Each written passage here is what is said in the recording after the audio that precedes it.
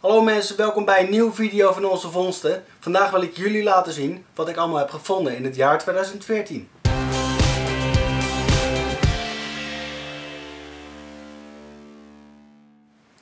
Zelf ben ik nog niet zo heel lang bezig met het zoeken. Eigenlijk pas vier maanden, dus vanaf mijn eerste YouTube upload. Maar in die vier maanden denk ik wel dat ik op zich leuke dingen heb gevonden. Weet jij toevallig meer over een van de vondsten die ik jou ga laten zien? Zet het dan gerust in de reacties of stuur het gewoon naar me op via e-mail of uh, Facebook. Ik hoop dat jullie het ook leuk vinden om te zien, want we gaan er nu even naar kijken.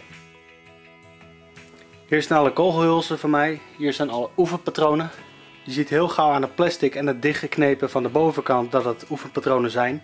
En je ziet hier de normale patronen en wat kleine patroontjes.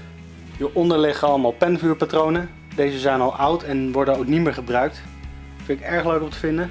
En alle kleinere slaggoedjes, die stop ik allemaal in deze pot.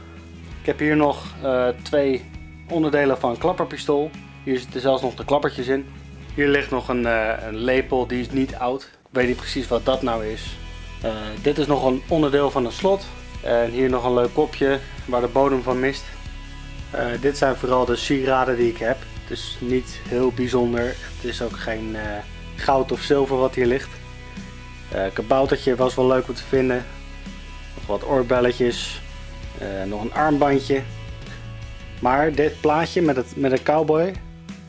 Wat waarschijnlijk een speld was of iets dergelijks. Dat, dat vind ik wel echt een mooi dingetje. En nog wat ander prul wat niet heel oud is. Maar wel leuk is om te vinden.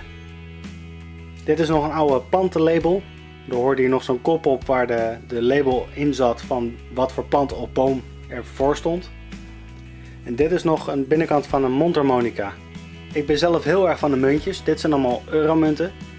Dat is dan wel een beetje jammer. Ik heb liever oudere munten, maar dit is prima. Als je er genoeg van vindt, dan is het ook leuk. Uh, dit is al wat ouder Nederlands geld. Behalve deze, dit is een, uh, een Grieks muntje uit 1973. Ook wel grappig om te vinden en hij is ook vrij licht. Hier hebben we wat, uh, wat centjes, wat 5 centjes, 10 centjes en kwartjes. Ik hou gewoon van muntjes, dus ik vind ze allemaal leuk. Dit zijn uh, nog oudere muntjes. We hebben hier twee uh, Wilhelmina centjes uit 1942.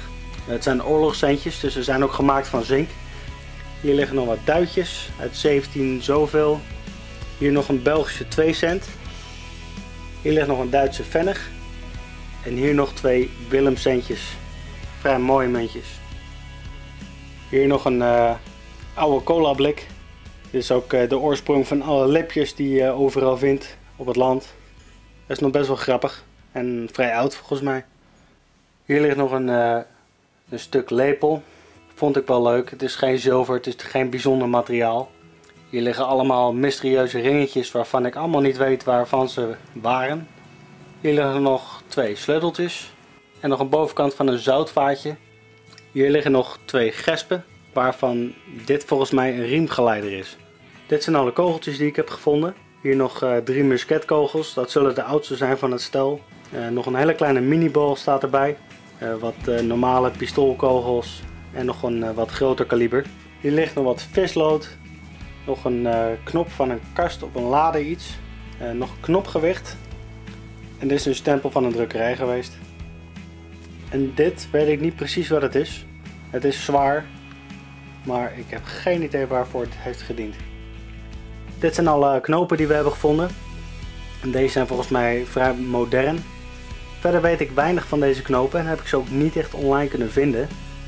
Ik weet in ieder geval dat deze, die zijn volgens mij wel oud. Maar uh, ik, uh, ja, leuke vondsten ook. Dit zijn al onze zegelloodjes.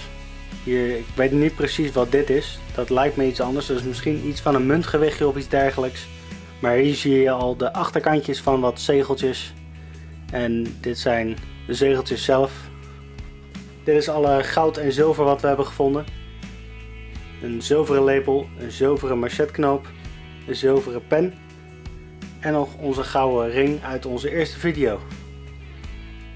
Omdat ik van muntjes hou ga ik ook vaak langs markten om eh, te kijken of zij nog wat oude muntjes hebben liggen die ik kan kopen. Dit vooral als vergelijkingsmateriaal met wat ik gevonden heb. Nou heb ik nog niet heel veel van deze munten zelf gevonden, Verder vind ik ze gewoon onwijs leuk om te hebben.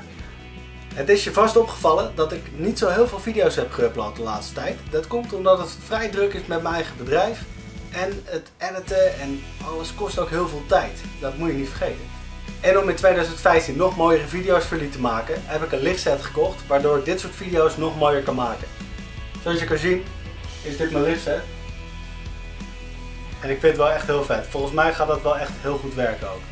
Ik ben van plan in 2015 meer video's te gaan uploaden op YouTube. Niet alleen maar graafvideo's, maar ook video's als uh, bezoekje aan een musea of een uh, onderzoek dat ik wil doen over een gebied. Maar ook dit soort video's, dat ik meer laat zien van wat ik heb en wat ik erover weet. Misschien ga ik wel bij kijkers langs, misschien ga ik wel samen met een kijker nog even ergens graven. Het kan allemaal. Hebben jullie een vet idee voor mij? Laat het mij even weten in de reacties. Vergeet ook niet als je deze video vet vindt en als je mijn ideeën vet vindt om deze video te liken. En als je nog niet geabonneerd bent op mijn kanaal, kan je abonneren.